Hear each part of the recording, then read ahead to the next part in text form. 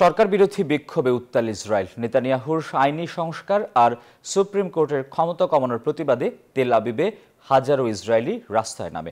বিক্ষোভকারীরা প্রধানমন্ত্রীর প্রস্তাবিত পরিবর্তনকে গণতান্ত্রিক শাসনের উপর আক্রমণ বলে বর্ণনা করেছেন। আর এতে নেতানিয়াহুর নতুন জোট সরকার আবারও নতুন চ্যালেঞ্জের মুখে পড়তে যাচ্ছে বলে মনে করছেন বিশ্লেষকরা। মাসুদ রানার ডেস্ক রিপোর্ট। ঝড় বৃষ্টি উপেক্ষা করেই তেল আবিবের হাবিমা স্কোয়ারে শনিবার রাতে সরকার বিরোধী বিক্ষোভে জড়ো হয় আশি হাজারের বেশি মানুষ। মাত্র দুই সপ্তাহ আগে ক্ষমতায় আসা নেতানিহুর দানপন্থী সরকার বেশ কিছু পদক্ষেপ হাতে নিয়েছে। আর এতে করে ক্ষোভে ফুসছেন বিরোধীরা। এমনকি বিক্ষোভ ব্যানারে নেতানিহুর নেতৃত্বাধীন নতুন সরকারকে লজ্জাকর সরকার বলেও উল্লেখ করা হয়েছে।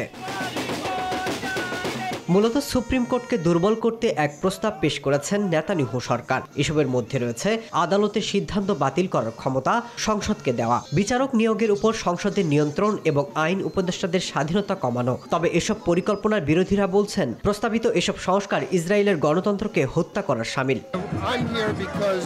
আমরা এখানে এসেছি গণতন্ত্রের সঙ্গে লড়াই করতে। ইসরায়েলের বর্তমান জোট সরকার আমাদেরকে অন্ধকার শাসনে রাখতে চায়। এসব আইনে ইহুদি রাষ্ট্রের শেষ এখান থেকে শুরু হতে পারে। তাই তো গণতন্ত্রকে রক্ষা করতে আমাদের এই বিক্ষোভ।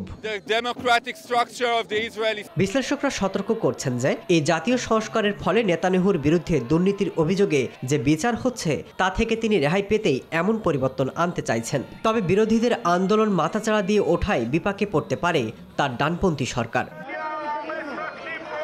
Masud Rana news twenty